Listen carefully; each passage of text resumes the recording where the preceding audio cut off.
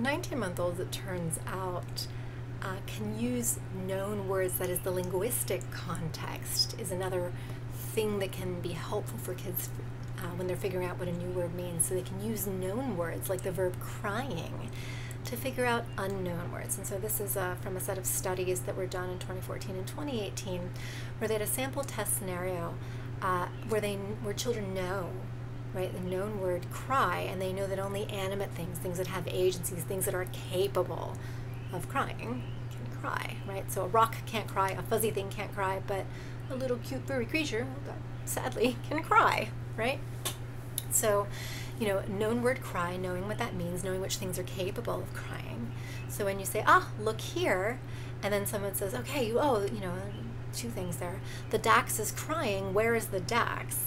And as an adult, you're like, okay, if I know what what crying means, then I, I'm going to assume you're talking about this thing, right? Because the dax is crying. Well, I know cry, and this is the only thing capable of crying. That must be the dax, right?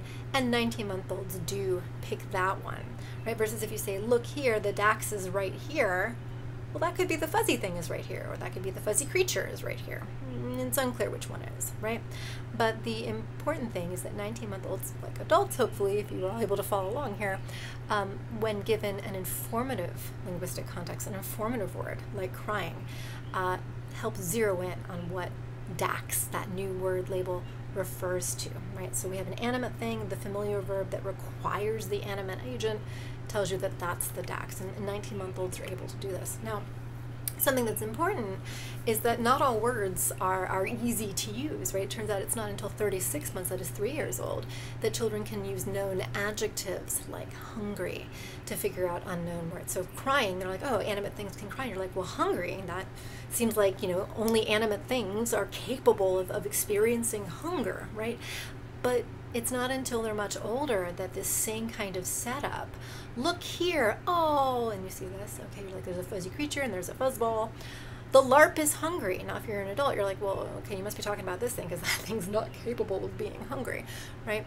Uh, so the larp is hungry and you figure out that it's this one but it's not until they're 36 months that kids can use hungry to figure out oh that you must be talking about this thing. Unlike with crying right where they could figure it out at 19 months um, you know, as compared to when you just say the LARP is right here, then it's kind of like, well, the fuzzy creature is right here, or the, the fuzz ball is right here, either one, you know, I don't know. But when you have hungry, right, it takes you like some extra time to figure out how to use hungry, right? So not all words, not all known words are, are sort of created equal, it seems, when it comes to children's ability to harness them to figure out unknown words. Verbs uh, like crying seem to be uh, usable earlier than adjectives like hungry for whatever reason.